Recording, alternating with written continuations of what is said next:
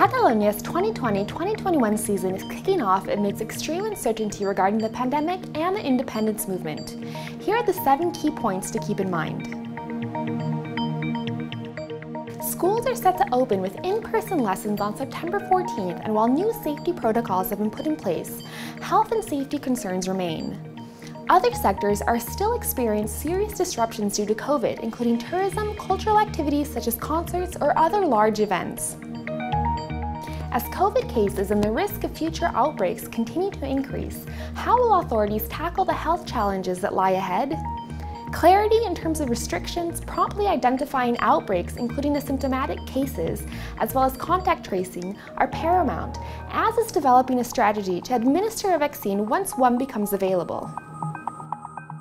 The Catalan economy contracted by 20.1% during the second quarter, with unemployment increasing to 12.8% in June and a full recovery still far off. Although the government has claimed that there will be no budget cuts and money from Spain and the EU is expected to arrive, the state of the economy is likely to impact future public policy decisions. President Torra was barred from office for hanging signs in favor of the jailed independence leaders on public buildings in a non-binding ruling that will have to be reviewed by the Supreme Court on September 17th. If upheld, Parliament will have to choose his successor, and if this is not possible, a snap election will be held. Torra has said that he would call an election after the budget was passed, but a date has yet to be announced.